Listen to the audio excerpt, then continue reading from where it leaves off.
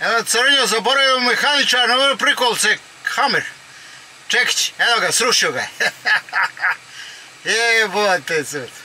Zamisli, ej, radili mu prikolicu u radioni i na vrh prikolce mu zaboravio Čekić. Mehaničar, eto dokle su mehaničar dogurali. Ja mu dao, nije imao čim da to sruši, evo ga nosi tamo. Čekić, valjda će ga zadržati za sebe. A ja mu dao četku za čišćenje, da ne znam, iz Somalije. Ovi iz Somalije imaju najveću inteligenciju koju sam ja ikad vidio. Jebote, ljudi nemaju uopšte ideje, jebote, ubijeni u mozak čoveče. Znaš, totalno ubijeni. Evo viš ona prikolica žuti, onaj kamion, evo ga vraća meni. Metlu. U stvari onu četku za čišćenje trailera. Nema on ništa. Na vrh trailera mu zaboravio čekić. I on vidi držalcu i kaže, ubit će nekoga, znaš. Ovo, ja mu, ja mu, nema ideju kako da skine čoveče. Jebote. Evo ga, somalijac. Evo koji se Somalije, veli Somalija.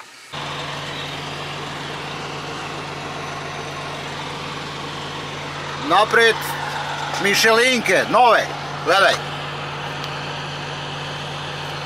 Još rese vise. Na vučnim točkovima Goodyear. Gledaj, nove. Šta kažete? Na prikolici nove. Evo je još rese vise. Nedelju dana stari. Grip Power, tajlandske. Sa Tajvana to stigle. Nema više Čajna. Čajna je završila, Kina je završila za Ameriku. Sad se vozimo na jeftinijim gumama. Kinezi su bili digli na 400 dolara mamu im. Kosovoku. 400 dolara bila guma puno lošija od ove. Tajvan sada 220 dolara, gledaj. Propala Amerika jebote. Kina im udarila sankcije. Ne da im gume.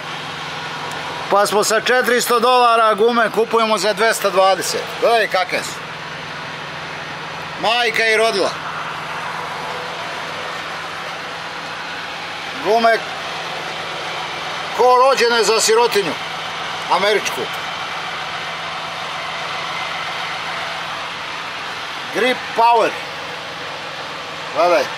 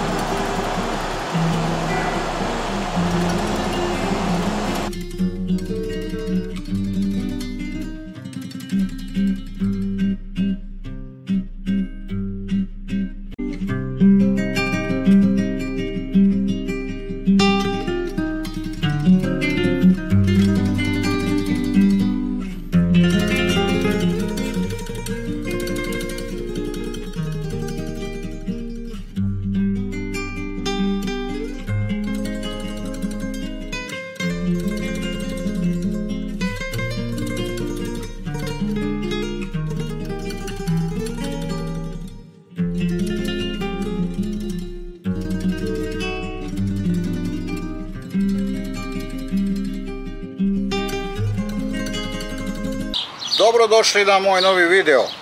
Evo nalazim se na Rest Area, Florida.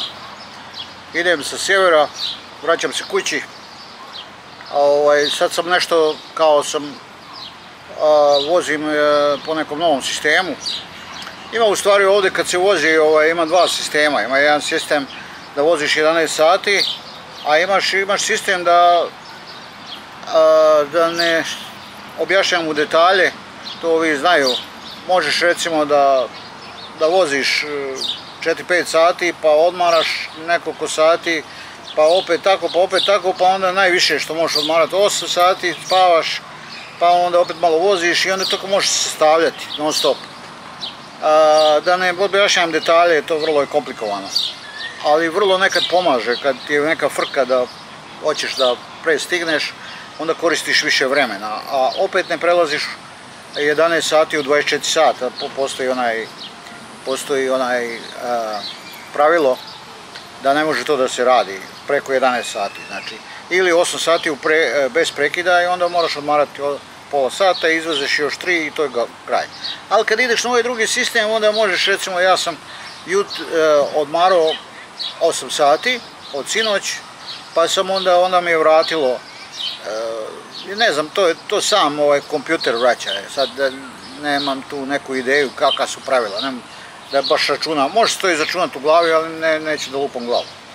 I onda mi je vratilo negdje 3 sata i 46 minuta i onda sam ja vozio ovaj, 3 sata i 46 minuta, došao sam ovdje i sad moram odmarati 2 sata da bi mi vratilo ostalih eh, ono do 11 sati. Tako da, ovaj, ja mi tako odgovara, sad ću ja fino da ručam, malo, evo, malo ću da snimim ono, ovo i, i tako da onda stižem večeras dole Arkadio, Florida, vozim one kolače za, za Walmart.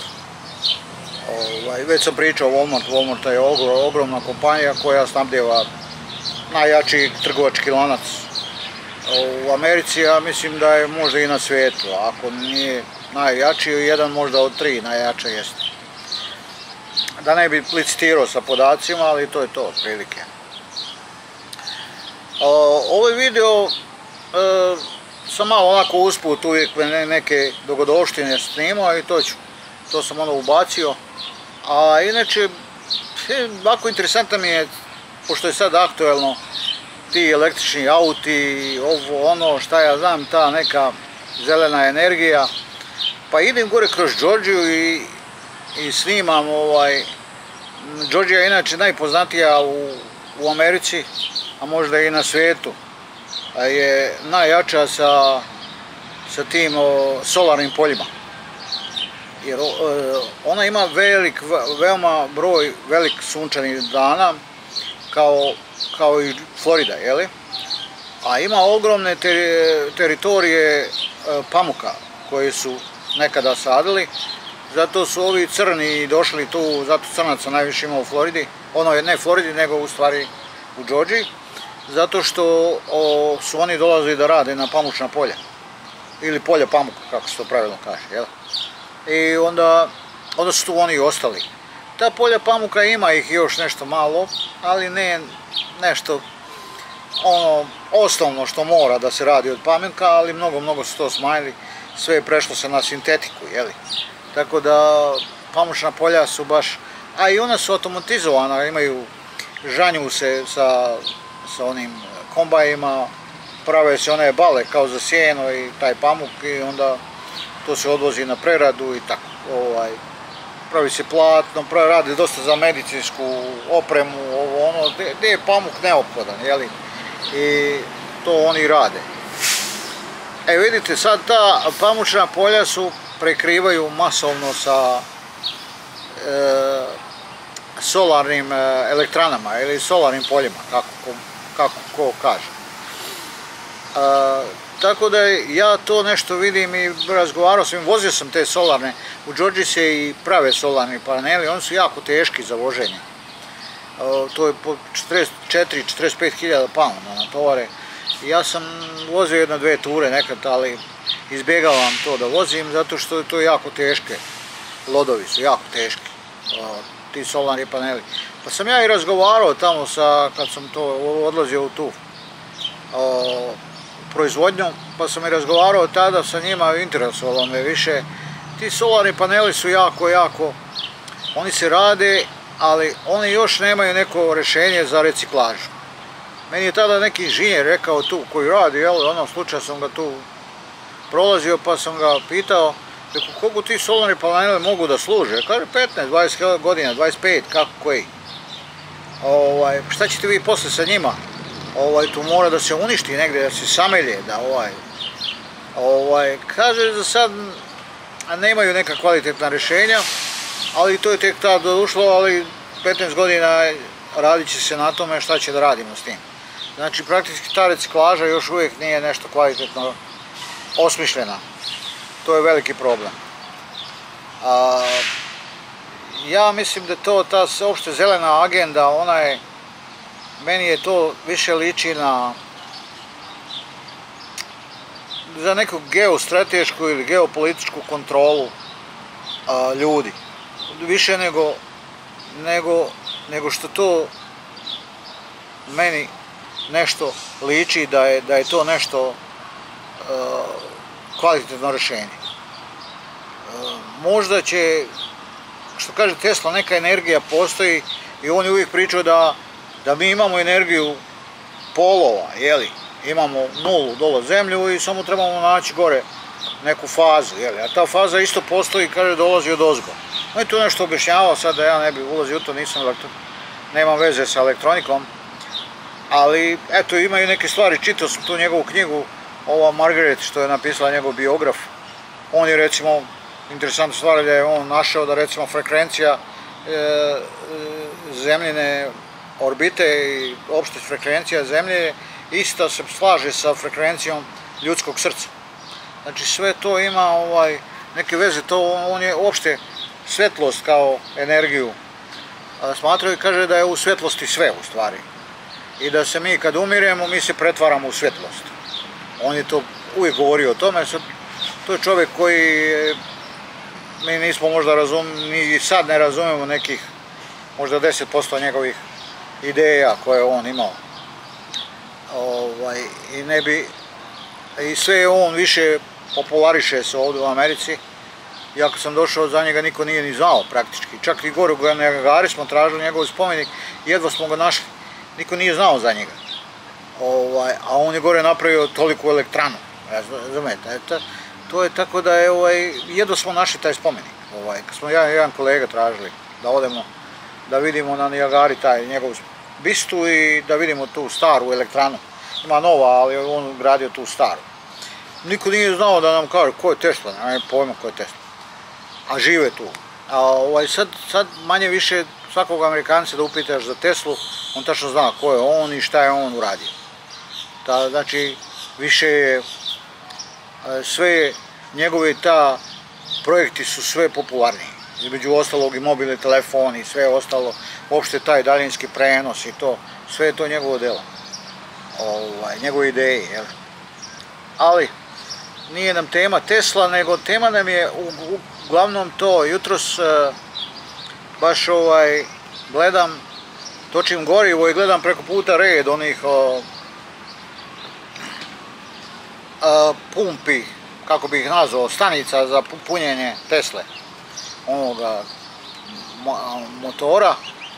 I ja se tu muvam i sad neki čiča tu stoji i dosadno mu, znaš, i vidim ja, ono, znaš, priđem njemu, reku, ja možda kupim tog Teslu, onako blefiram, možda kupim tog Teslu, ovaj, kakav si ti iskustva sa njim? I ono, ono, znaš, američki, ono, ono, fucked up, znaš, kao, znaš, to je, ok, kaže, on je ok, Tesla je ok, uopšte električni auto je ok, ovo kad putuješ na posao i to, i ako ga puniš kod kuće, onda je ok.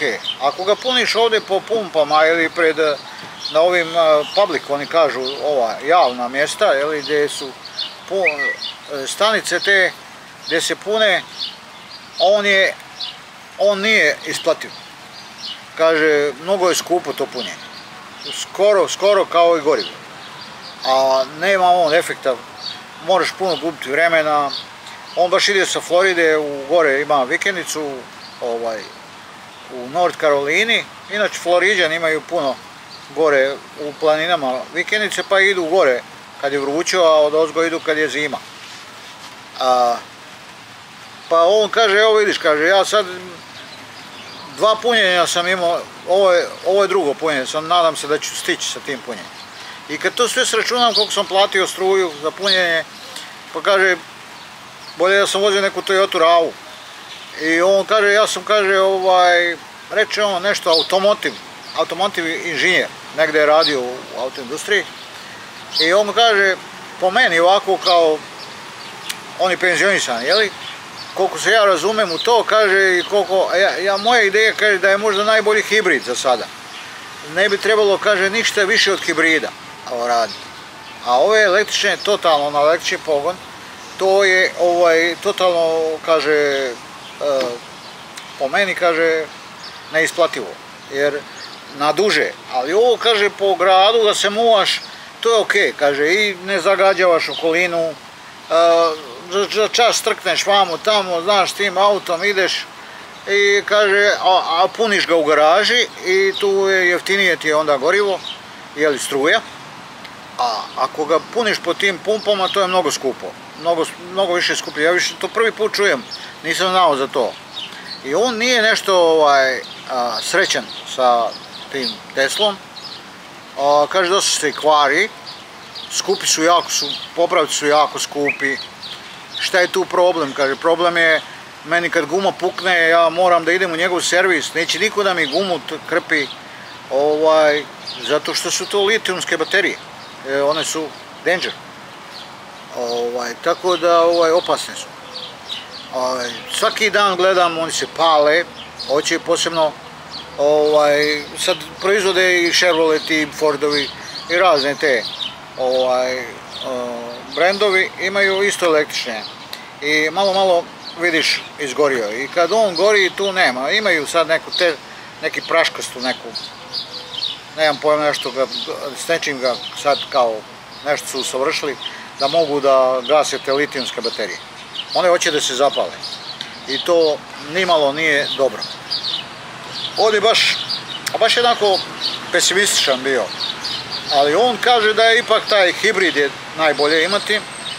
On kaže da će on prodati ovoga Teslu svoju i da će kupiti hibrida. I da onda kombinuje malo gorivo, kaže onda gorivo troši mnogo manje, a ovo drugo koristi struju. I onda kaže to kad kombinuješ to je, to je čak i jeftinije, ovaj, a i sigurnije za dulje, duže puteve i tako da je to po njemu ok, on kaže. Šta sam sad tu još, ovaj, pričali smo da, o energiji, o tome svemu. A, kaže energija je, energija je ovaj, ova električna, ona je ok, ona izgleda ovako zelena, ali kaže, problem je sistem. Kaže, vidio si već nekoliko ima, imali smo ispada sistema. Evo, Balkan je imao sad Hrvatska, Srbija. Srbija nije imala ispadi sistema, Crna Gora, Bosna, ono, ovo, Grčka. Zato što dole u Albaniji Grčke ima puno tih solarnih stanica. Isto. I ovaj, on kaže da je to problem te solarne stanice, one su uključene u sistem. I onda ovaj, dovoljno je, kaže, da najđe uh, jedan, kaže, oblaci kao oblaci, oni idu onako prugasto. I on kaže, kad zasjeni, recimo, jedan sistem polja zasjeni, i on može, recimo, sad negdje gdje ne može taj sistem da izdrži, ovaj nema podršku, više ne proizvodi i raspadne i onda dolazi do pucanja sistema. Kaže, i to nije isto, ne, Bog zna kako rješeno, tako da to, kaže, nije neka sigurna energija, ni ta solarna, po njemu. Ovaj, šta, šta je tu još problem? Litijske baterije, evo sad je dole na Balkanu, ovaj, pritisak na iskopanje litijuma i to, te ta litijumska polja, ona, ona su katastrofa. Ja sam gledao gore u Salt Lake City-u, tu su ovi Rio Tinto i plaćali neke kazne za korupciju i nemam pojma, tako, ovaj, to je pustoš, izgleda gdje, gdje oni to rade. To je pustinja. Tako da, ovaj, i još sam, ne znam gdje sam ono još vidio, imaju ta, i uglavnom taj, taj litim, litijumska polja to svako izbjegava, znači te rudnike. A tu velika je, velika je ovaj, što kaže, ovaj inženjer, što kaže meni, kaže ja sam kupio Teslu, eto, da probam zato što sam te struke. Ali ti kad gledaš kako on može biti, kaže, zelena energija, ako ako proizvodi, kaže, tu struju, proizvodi sa, na ugalj, na atomsku energiju, na ono, znači ti ovamo imaš ogromno zagođenja da bi došlo do baterije. I, znaš, tako da, to je samo, a, po njemu on kaže, to je, kaže on meni, kaže, druže, to je samo biznis, kaže, neko je, neko je zamislio da napravi ovu električnu industriju auta i to sad gura svim sredstvima, a da li će to od toga biti šta ili neće, to je sad veliko pitanje. Ovaj, ono će doći, kaže, možda za neki 150-200 godina, sigurno se nećemo voziti na gorivu. Biće neka daleko modernija stvar. Kako i šta, sad nemam ideju, kaže, ja bi, ja bi bio sada milijarder kad bi imao tu ideju. E, ovaj, ali nešto će se savršeno desiti, ali ovo što je trenutno sad ta zelena agenda i ta solarna energija i to, to je ovaj, to sigurno nije rešenje za, za 500 ili 1000 godina. To je, to je čovjek mi kaže koji zaista je cijeli život proveo u, energiji, u, u, u nekom tom poslu sa vezano za struju i aute. Šta je tu sa problemom? Ono što ja mogu da kažem, što sam ja vidio, problem je jedan sljedeći. Ja putujem sad, ja gledam recimo neki dan sam prošao kroz Arkansas. I sad od ovde kad izađeš iz, iz, iz Tennessee, ulaziš u Arkansas, tu, je, tu su ravna polja, nepregledna, bogata zemlja, to je nizina. I sad Arkansas on ide gore sve više i više u planine i to su šume, uglavnom planine i šume i tako. Ali sad dole sve što je ravno, pazi. I oni sad gdje je to ravno, oni sada gdje, gdje tu mogu da proizvode hranu, gdje je cijela Afrika praktički gladuje. Nema hrane. Ljudi umiru od glad. Ne znam koliko milijard ljudi sigurno je gladna danas trenutno dok ja ovo pričam. Možda i više, onako lupam, lupam, ali milijarde sigurno. Znači, oni da proizvode, umjesto proizvode tu hranu, oni, oni su tu gdje najkvalitetnija zemlja, oni su to napravili solarna polja. Kako, i potom ja sve vidim, nako, jer svaki dan to gledam svojim očima, ja nisam stručnjak za to, ali pričam moja zapažanja na, koja imam pravo nešto da kažem, to je moje lično mišljenje za paženje. Vjerojatno će tu doći neki koji je u tom poslu pa će reći, ej ti lupaš. Ovo je samo moje zapažanje. Ja gledam, nama će hrana biti sve skuplja i skuplja, ako to bude tako nastavljeno. Ja gledam u Georgia, uh, Alabama, Florida, gdje god je kvalitetna zemlja, tu se prave solarna polja čovječ šta će da jedemo sutra? Pa nećemo se samo voziti i praviti baterije, litijum ove. Nećemo samo to raditi. Od čega ćemo živjeti? Pa nama treba hrana. Šta će oni ovaj tu da... Kako će tu da sije? Tu nema sijanja. Jer on tu baca otrov po toj zemlji, truje tu zemlju da ne raste trava, da to bude čisto. To ti pustinja ispod tih solarnih panela. Oni to piče sipaju neke otrove koji to prže zemlju. Znaš, a tu je, na primjer u Floridi, pre par godina ja sam odatle vozio lubence. Najkvalitetnije lubence su tu rasle, paradajz, šta ja znam, bili luk i to. I sad tu je solarno polje, na primjer. Eto, to, ja, to je moje lično zapažanje. Znači tu, na ti nekoliko miliona ili hiljada hektara, tu će sad proizvoditi struja, ali neće se proizvoditi hrana. Znači hrana će biti manjak. Ako je hranjak, manjak hrane, onda, onda će nama hrana biti skuplja.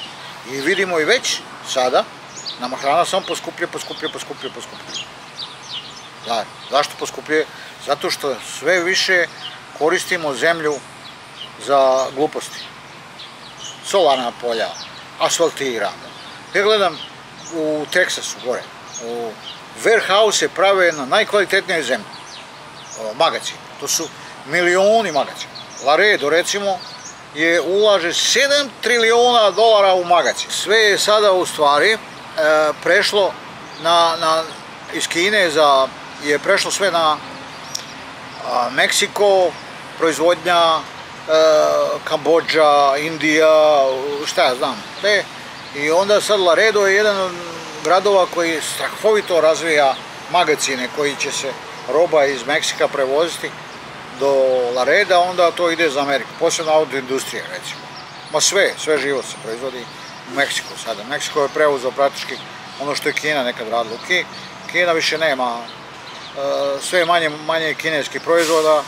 Ja pretpostavljam za 3-4 godine nećeš moći naći, možda da tražiš e, povećalom, nećeš moći naći kineski proizvod u Americi. Znači, Kina ovaj, gubi tržište američko, to je definitivno, to se vidi i okom, boli. Ne samo što političari pričaju da uh, verbalno ovaj, sa Kinom se uh, ovaj, razbenjuju te strelice otrovne, nego prosto vidi se i da u, nema sve manje kineski proizvoda, a sve više Kambođa, sve više Indija, sve više Tajvan, sve više Meksiko i šta znam, Brazil, tako, sve te zemlje trećeg svijeta, jel? Tako da, oni isto na toj zemlji prave, kvalitetno je prave te, to su ogromni, ja, to je, to je ljudima koji nisu izašli, na primjer, van Srbije ili Hrvatske, on kad vidjeli taj magazin jedan, recimo u Teksasu, on bi se, to je površine jednog manjeg grada, to, to je ne, nešto nenormalno veliko, znaš. Ovaj, koliko, se to prave, veliki magacin. Ovaj, tako da, to sve na toj zemlji više neće da raste uh, hrana. Tako da sve više smanjujemo, onda što najgore sjeku šume. Šume sjeku, isto prave ta solarne polja. I što kaže mi ovaj uh, starina jutros, kaže ne možemo mi, nećemo mi moći utrku dobiti sa tim, mi ne možemo proizvesti struje dovoljno da imamo ovako kako smo zamislili. Jer kaže ovaj, sad nema vrlo mali procenat auta, već imamo problem sa strujom. Kad pređe, kad bi prešla Amerika, samo 30% mi nemamo sad energije dovoljno da pokrijemo, kaže, samo 30 do 40%, možda 50% auta da, da krene na struju, mi već imamo ozbiljan problem sa električnom energijom. Tu čovjek kaže ovako, ko s kojim sam razgovarao, eto tako, nikad u životu nisam vidio. Slučaj sam naišao na njega, jel?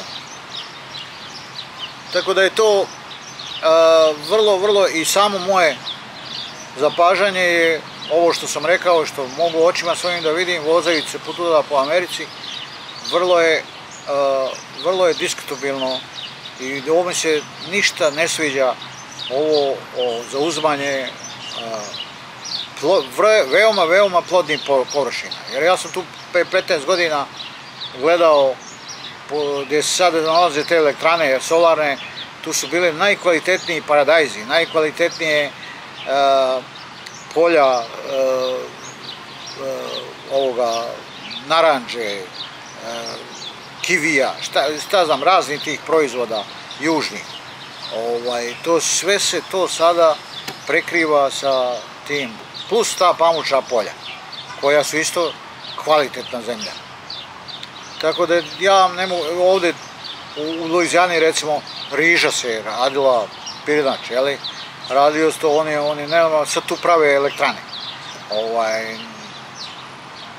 nema više pirinča, evo, tu.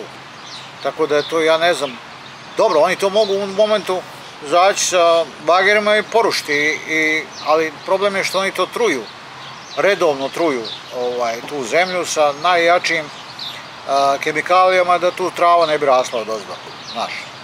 Tako da je ta zemlja, treba će da je sad porušiš tu elektranu, treba je par godina da se oporavi, ko zna, ne znam, nisam hemičar. Ali sigurno je treba dosta vremena da se oporavi da bi tu počela da raste kvalitetan proizvod. Evo. Tako da, plus toga što, što, što sa tim i trujemo i vodu. I vodu trujemo, mnogo se to, truje ta zemlja i to ide dolje na podzemne vode odakle mi u stvari vadimo vodu za piće. Tako da sve je to jedan krug, ta zelena agenda koja, ona se samo zove zelena.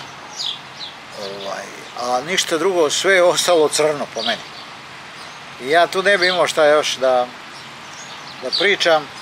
Idem sad kući, dolazi 4. juli, to je ovdje državni praznik, pa zato sam i krenuo ranije, bit ću sad jedno 12-13 dana kući, pa poslije toga krećem na teren i onda se čujemo poslije ovoga mog kratkog odmora, pa ću ići još dve, do tri, dve nedelje na put i onda idemo za Balkan.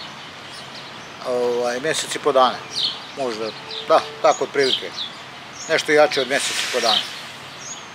Ovaj, tako da ću malo onda snimat sa Balkana i to, a još ću snimat po Americi. Ovo to bi bilo za ovaj video malo obraćanje o zelenoj toj agendi i to e, inspirisao me taj čovjek koji zaista mnogo zna. Možda i nisam mogao da prenesem sve njegove znanja.